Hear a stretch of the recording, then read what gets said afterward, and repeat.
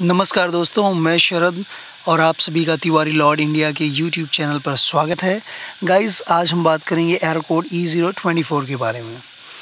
अगर हम कैनन में एरोकोड की बात करें तो मशीनों में बहुत सारे एरोकोड आते हैं। तो उनमें से आज हम Canon error code E zero twenty four के बारे में बात करें। ये एरोकोड जो डेवलपिंग असेंबली का सेंसर होता है, उसके फॉल्ट से आता है।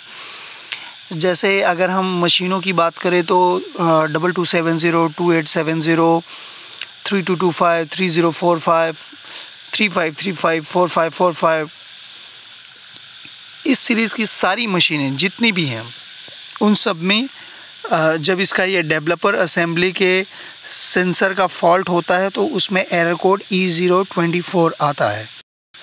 इसी के साथ साथ कैनन की इन मशीनों में अगर डेवलपर असेंबली में बहुत ज़्यादा टोनर भर जाता है तो ये प्रॉपर घूम नहीं पाता। तो इस कंडीशन में भी ये E zero twenty four error code देता है। तो इस कंडीशन में आप क्या कीजिए, सबसे पहले इसका डेवलपर असेंबली बाहर निकालिए और उसे अच्छे से क्लीन करिए और उसका सारा टोनर बाहर कर दीजिए। और फिर वापस से इसे इंसर्ट कीजिए और एरर कोड सभी क्लियर करके इसका टोन इंस्टॉल कर दीजिए और ये प्रॉब्लम सॉल्व हो जाएगा।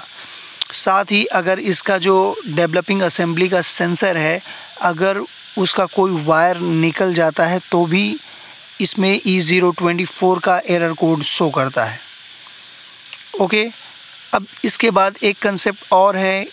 यहाँ जो सेंसर लगा हुआ है, उसको डीसी बोर्ड से पावर मिलता है। तो अगर डीसी बोर्ड का फॉल्ट रहता है तो भी ये machine E zero twenty four code देगा।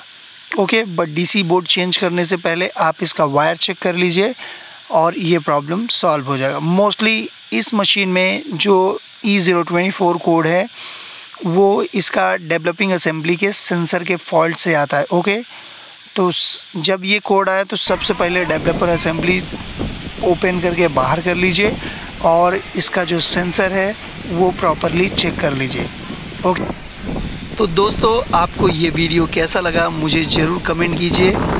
ओके, और अगर आप मेरे चैनल पर नए हैं तो मेरे चैनल को ज़रूर सब्सक्राइब कीजिए।